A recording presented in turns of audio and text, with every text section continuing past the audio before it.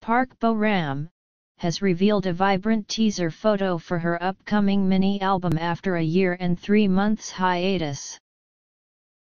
The teaser is completely bathed in an orange hue and contains the title of her first track Why You.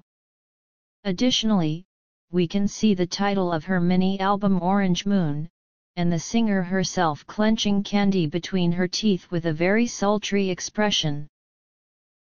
Park Bo-ram is gaining attention for her upcoming album, due to the news that former Superstar K2 contestant Samuel Seo will be featuring in her title track.